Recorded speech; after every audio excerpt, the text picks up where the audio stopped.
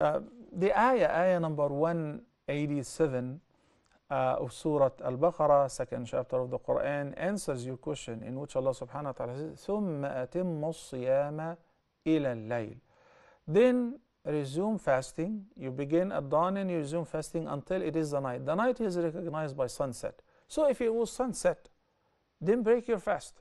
Okay?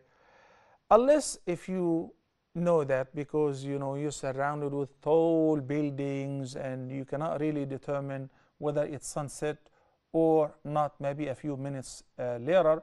So you stick to the app you stick to the time if the time is accurate. And you happen to eat or drink by mistake or by accident assuming that you think it was time but it wasn't time then you're not blameworthy.